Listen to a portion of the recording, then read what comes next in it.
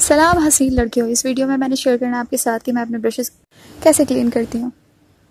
सबसे पहले मैंने एक कप लिया आप कोई भी बर्तन ले सकते हैं लेकिन प्लास्टिक का ना हो। ओके okay, हमने इसमें नीम गर्म पानी ऐड करने के बाद half teaspoon shampoo add करना है। शैम्पू ज़्यादा हार्श ना हो बिल्कुल माइल्ड सा हो। इसमें सारे ब्रशेस एक एक करके ऐड करने के बाद अच्छे से मिक्सिंग करनी है। कोई भी सुस्ती नहीं दिखानी और इसको 20 मिनट के लिए छोड़ देना है।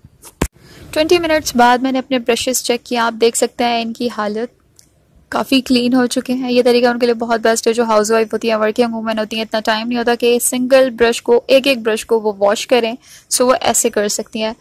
अब मैं इसको साफ़ पानी से वॉश करूँगी। वॉश करने के बाद किसी भी साफ़ कपड़े पे सही से फैला देना है, थोड़ा सा डिस्टेंस पे, ताकि ये सही से ड्राई हो। सेकेंड वे शो करने के लिए मैं ये ब्रश यूज़ करूँगी, इस पर रेड लाइनर लगा हुआ है। लिया है और ब्रश को मैं इस पर जेंटली मूव कर रही हूँ। रेड कलर इसका देख रहे हैं आप। ये तरीका उनके लिए बहुत बेस्ट है। जो जल्दी में हुआ आई लुक क्रिएट करना हो तो इसी तरह कोई भी ब्रश यूज़ करना हो, इसी तरह वॉश करके उसी टाइम ड्राई करके यूज़ कर सकती हैं। भी हो गया। अब देखते हैं final look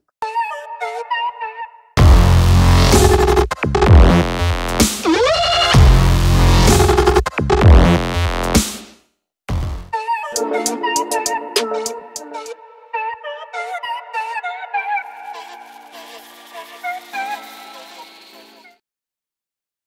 Thank you.